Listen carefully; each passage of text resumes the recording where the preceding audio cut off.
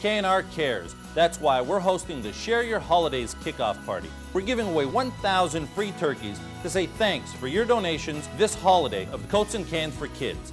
Together, we can show just how much we care about our community.